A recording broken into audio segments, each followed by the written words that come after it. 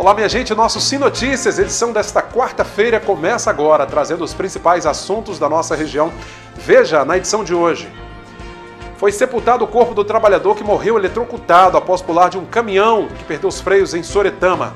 A Polícia Civil prendeu um suspeito de homicídio e roubo dentro de um ônibus de trabalhadores rurais nesta manhã em Linhares. A gasolina está mais cara de novo. Aqui na cidade, o preço do combustível está 20 centavos mais alto. Quase 6 mil alunos da rede municipal de ensino de Linhares são avaliados no PAEBS. 10 novas ambulâncias vão atender localidades do interior do município. Equipe de futebol 7 de Linhares representa o Espírito Santo no final de semana no Brasileiro da categoria no Rio de Janeiro. Vamos também a São Mateus saber os destaques da região norte. De Cachoeiro, Samuel de Fraga fala sobre um homem que deixou a prisão e tentou matar o atual namorado da ex-mulher. Veja ainda os destaques do esporte. Estes e outros assuntos agora aqui na sua TV Sim. Esta é da Terra.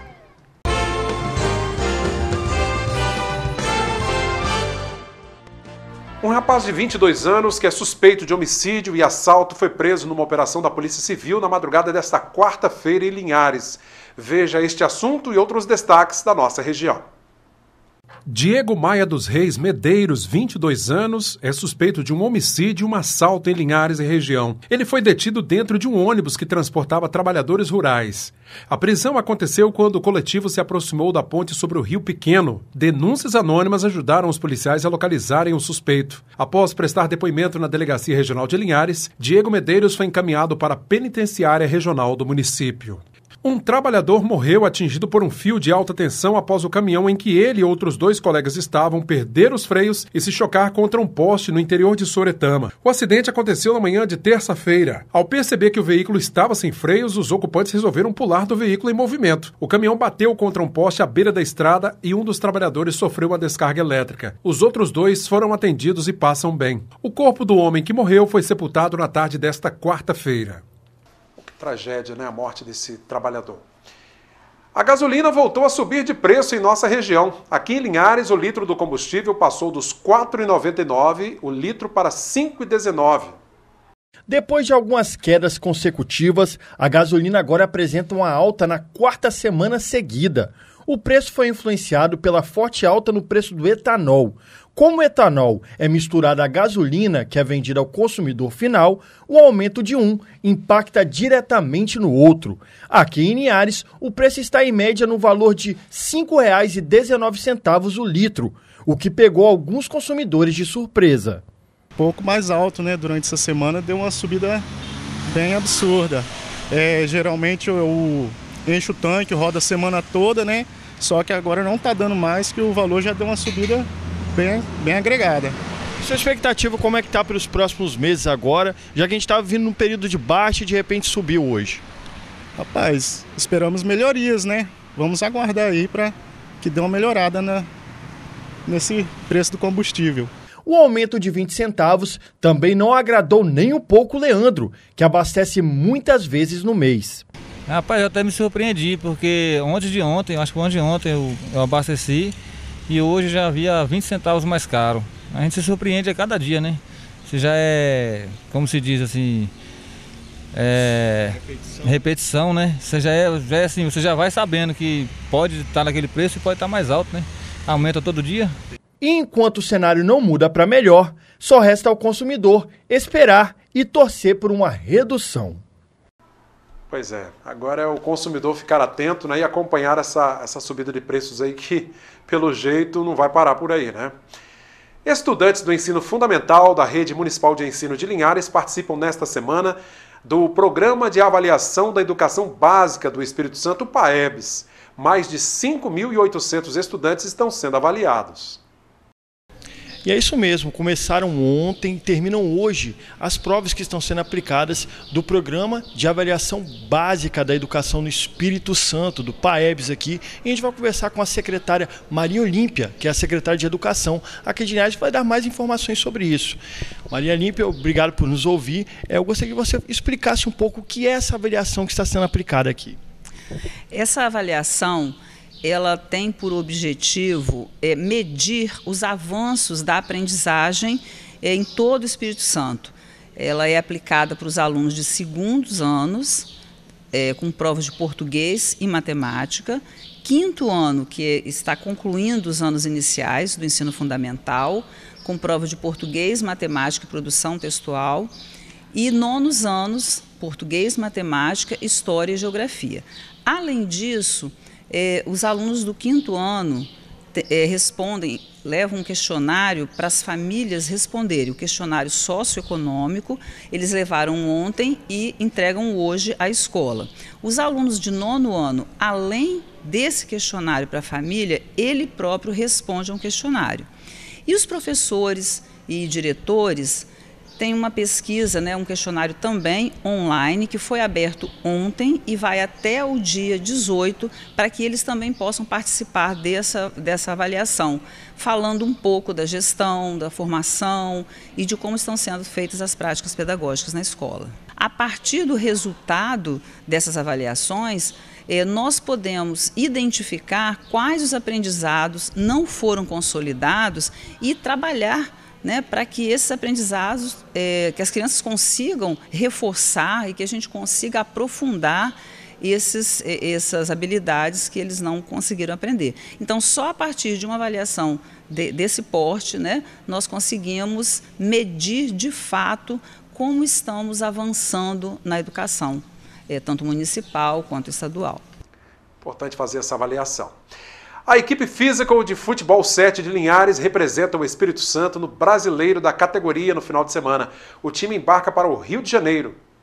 O clube foi fundado há poucos anos, mas vem chamando a atenção. Em pouco tempo, já são dois títulos conquistados. Após serem campeões da Liga Norte Copa Tobogã, eles agora vão em busca de mais. Esse time, Physical Foot 7, ele já existe há quatro anos, né?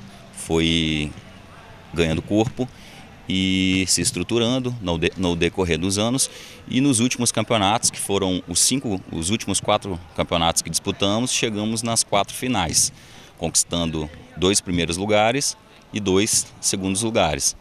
O clube treina forte, se preparando para o próximo desafio e conta com atletas experientes e bastante conhecidos para isso a expectativa é a melhor possível, sabendo que vão ter bastante adversários difíceis lá, mas a gente vai preparado para fazer um belo trabalho e representar bem o Espírito Santo. Você tem a dizer o elenco aí, porque são apenas sete que jogam, mas a gente vê que é um elenco volumoso, muita gente aqui que é experiente. Ah, o Society é praticamente quase fosse futsal, tem que ter praticamente duas bases, né? Então é interessante ter bastante jogadores para ir mudando, que cansa rápido, já que você tem que fazer uma marcação pressão. É, mas bastante jogadores rodados, jogadores que jogam no profissional também comigo aqui. Tenho certeza que eles vão representar bem o time lá no Rio de Janeiro. E para balancear a equipe, a juventude está presente. A zaga é bem representada. Futebol é, é um sonho que eu tive desde pequeno, desde os sete anos, saí do jardim para jogar futebol. E já rodei vários clubes também. a preparação está sendo excelente aqui para o campeonato. E nós vamos em busca do título. Ao conquistar essa vaga que vocês foram para o Brasileiro, como é que foi essa luta que vocês tiveram nesse último campeonato? Ah, o campeonato foi muito disputado aqui em Linhares, né? Grandes equipes também, Soretama, aqui, a, própria mesmo aqui de Linhares. A nosso time também buscou muito para essa vaga, né? Que é muito importante para nós também. E a preparação está sendo excelente. A disputa acontece no final de semana no Rio de Janeiro e terá 16 equipes de todo o Brasil. Mesmo sabendo que vão encarar times mais experientes e de renome, todo mundo garante não ter medo de ninguém. Está confiante, a gente tem um elenco bom, tem uma base boa, vem treinando há bastante tempo, né? Disputando os campeonatos aqui regionais, sempre chegando e acredito no meu, no meu time, sei que vai chegar, tem duas bases boas e o trabalho que a gente está fazendo aqui é excelente também. Você que foi um jogador de campo por muito tempo e ainda joga, você sente muita diferença na questão da adaptação na hora que você vem aqui para jogar no sintético? É, a diferença é grande por, por ser maior o campo, né? Mas aqui é a qualidade que a gente tem, que o elenco tem, é, todo mundo se sobressai e a, a experiência que a gente leva é grande, né, para lá. Com o apoio dos patrocinadores, eles custeiam a viagem e as despesas do clube e seguem para representar o Espírito Santo no cenário nacional, mas com a ambição de conquistar o lugar mais alto do pódio. A gente agradece assim grandiosamente aos nossos apoiadores, né, que são os principais apoiadores ali, que estão mensalmente contribuindo com a gente. É, temos também é, uma inúmero quantidade de amigos, né, que contribuíram de forma é, é, sem pedir nada em troca. Então a gente agradece isso de coração a cada um deles e com certeza agradecer também aos atletas, aos professores que confiaram no nosso projeto, para que a gente possa ter essa base realmente sólida para competir, porque realmente vai ser uma competição a nível nacional, né, com direito a uma vaga, quem sabe sabe, ao Mundial, que é o que a gente tanto espera. Bom, parabéns aos atletas do Physical Futebol 7 que nos represente bem lá no Rio de Janeiro. E acontece em Linhares, na manhã desta quinta-feira, o evento Espírito Summit. Promovido pelo Espírito Hub, o evento conta com três grandes palestrantes: Luiz Gaziri, palestrante e escritor, Jean Lage, executivo de tecnologia do grupo Águia Branca, e Wellington Tonon, conselheiro do grupo Hopen especialista em RH. Começa, o evento começa às 8 horas da manhã no Cine Hits Conceição, um evento importante, né? O Espírito Hub, que tem se destacado aqui no município, é uma, uma startup linharense. Parabéns ao Arísio Tessarolo pela organização deste evento. Vamos ver como fica o tempo nesta quinta em toda a nossa região. Quinta-feira de sol e sem chuvas, Linhares com temperaturas entre 19 e 32 graus. Em São Mateus, variação entre 20 e 34. Cachoeiro com mínima de 18, máxima de 35. Já em Vitória, a mínima é de 20 e máxima 29 graus. Um intervalo rapidinho, daqui a pouco vamos a São Mateus saber os destaques da região norte e vamos dar um pulinho também em Cachoeiro para conversar com Samuel de Fraga. Voltamos já. Voltamos com o nosso segundo bloco de hoje. Vamos agora a São Mateus para conversar com Nariane Lopes. Ela tem uma boa notícia falando sobre a revitalização do sítio histórico Porto de São Mateus. Olá, Nariane, traz para a gente essa novidade. Olá, Cláudio, tudo bem com você? Pois é, Cláudio, essa obra de revitalização está sendo aguardada há muito tempo. Inclusive, quem anunciou o próprio investimento foi o governador Renato Casagrande. Durante a inauguração da nova sede da Câmara na noite desta terça-feira, o governador disse que será feito o repasse de 8 milhões para a revitalização do casario histórico do Porto. Agora, no dia 18, eu não estarei aqui, vou estar viajando, mas vamos aqui repassar 8 milhões de reais para recuperar o Porto de São Mateus, o Porto histórico de São Mateus, tá? Uma marca é, do nascimento de São Mateus, tá certo? E da economia e da cultura de São Mateus. Então vamos, entrar, vamos entregar esse recurso de 8 milhões de reais para a população de São Mateus. Casagrande aproveitou o momento para agradecer os votos que recebeu e afirmou que o governo, nos próximos quatro anos, terá mudanças, mas com o mesmo espírito de trabalho.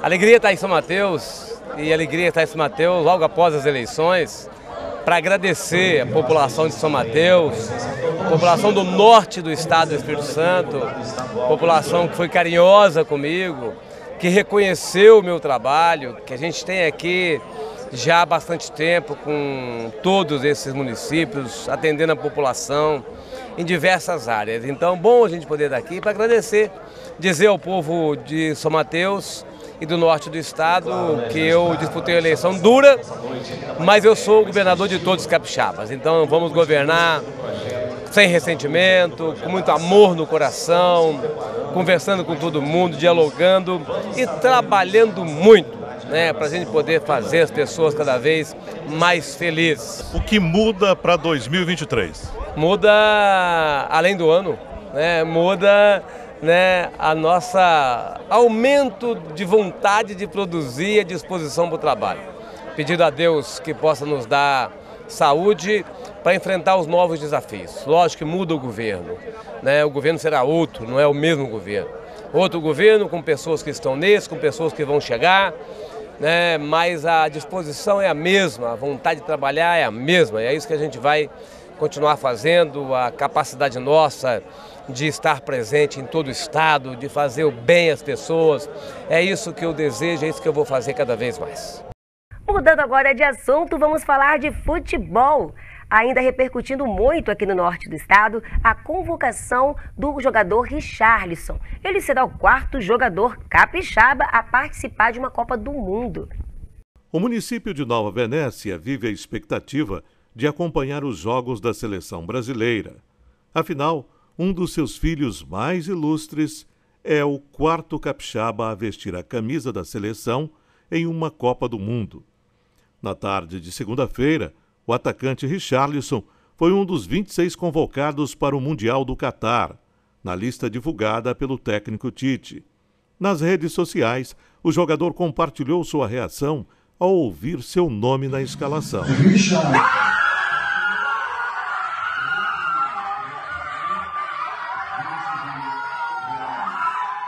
O jogador tem uma história bonita no futebol capixaba.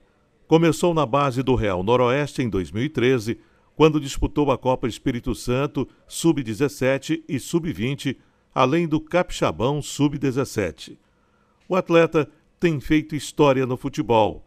Durante a convocação desta segunda, também teve registro da comemoração da família dos jogadores.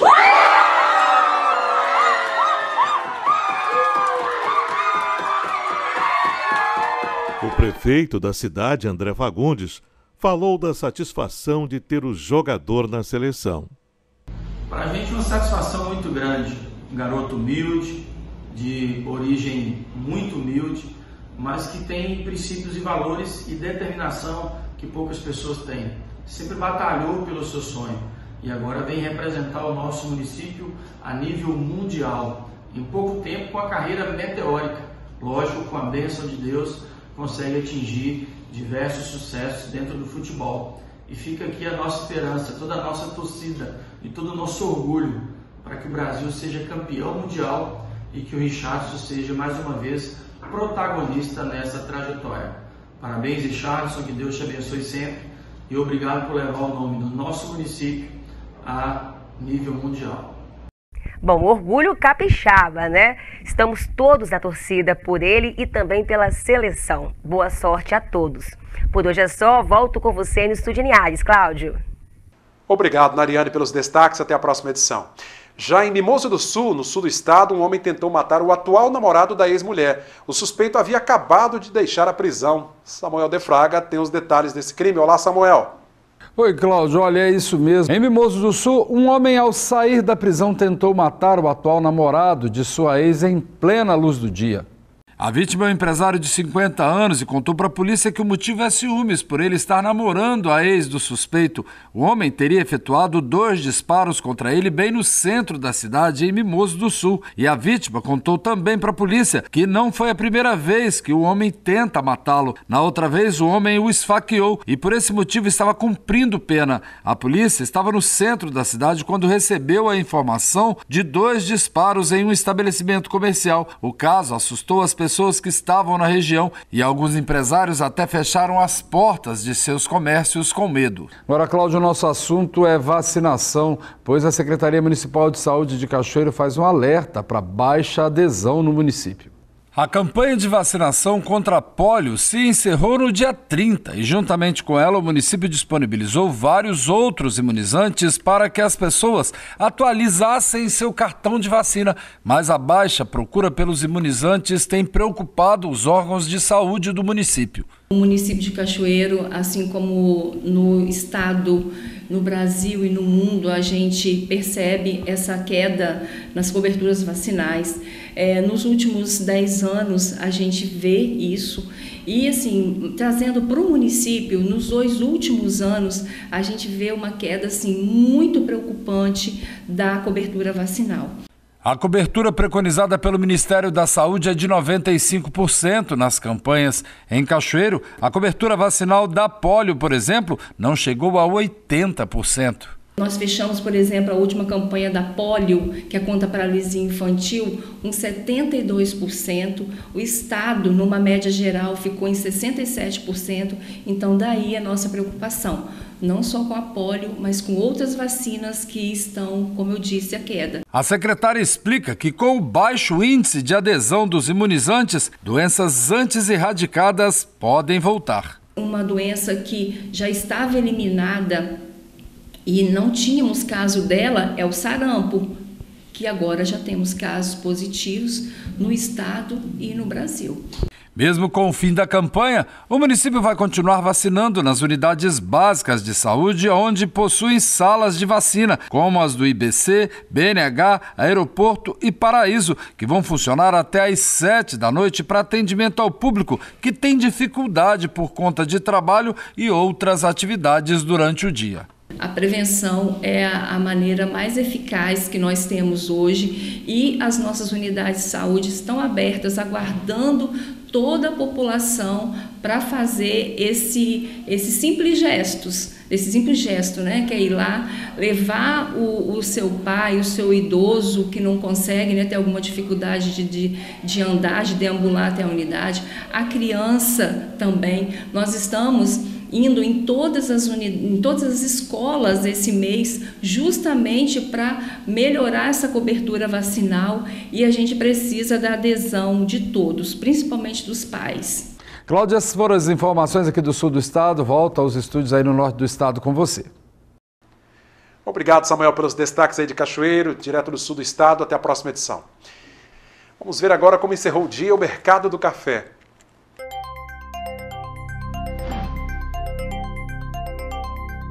O Arábica tipo 6 fechou o dia a 890 reais a saca. O Arábica tipo 7 fechou o dia 776 reais. Já o Conilon tipo 7 fechou o dia a 525 reais a saca. Mais um intervalo bem rápido, daqui a pouco a gente fala sobre o Museu do Esporte, museu itinerante que está em Aracruz, e vamos ver também os destaques esportivos do dia. Até já! Voltamos com o nosso terceiro e último bloco de hoje. A cidade de Aracruz recebe a Carreta Museu do Esporte nesta quinta-feira. E aqui na carreta a gente tem uma parte tecnológica para aproximar o público dos esportes. O nosso grande case é esse aqui.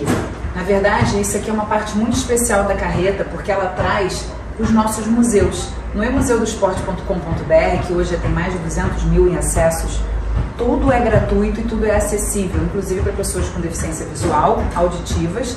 Então aqui a gente tem todos os nossos conteúdos digitais com mais de 100 colecionadores. Então a gente tem os 80 anos do Pelé, que inclusive a gente traz o Pelé para cá, né? É, tudo isso é em 3D e você pode navegar pelo ambiente. É só no museudoesporte.com.br.